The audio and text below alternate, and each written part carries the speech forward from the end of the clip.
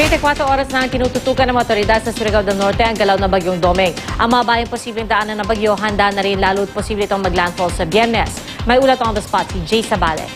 Jay?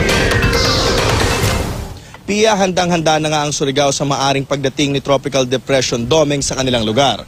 April 6 pa lamang ay todo bantay na ang Provincial Disaster Risk Reduction Management ng Surigao. Agad silang nagpadala ng mga bulletin sa iba't ibang municipality na kanilang nasasakupan na maghanda na.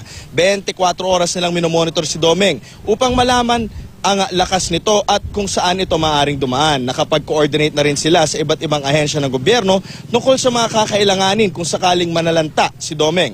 Ang mga relief goods sa warehouse ay ready for distribution anytime. Ang DepEd naman daw ay hinahanda na rin ang kanilang mga eskwelahan na magsisilbing evacuation center kung kakailanganin.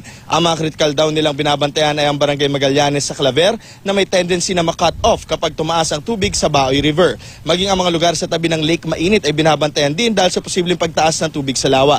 Nangako na rin ang ilang mining companies at contractors sa Surigao na tutulong sa pag-search and rescue kung kinakailangan. Ang Philippine Coast Guard sa Port Surigao ay handang-handa na rin. Ang kanilang mga sea assets tulad ng fast craft ay fueled and ready na raw for deployment. Ipinakita pa nila sa amin.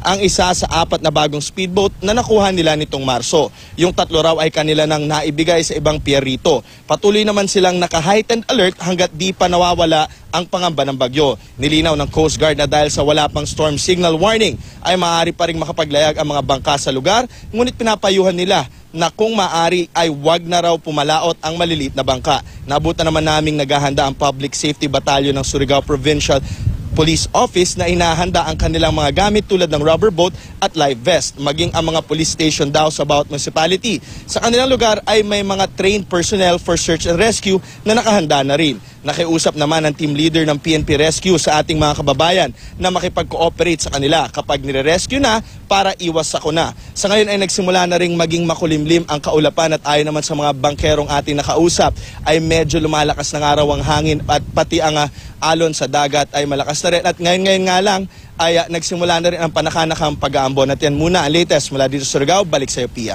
Maraming salamat, Jay Sabale.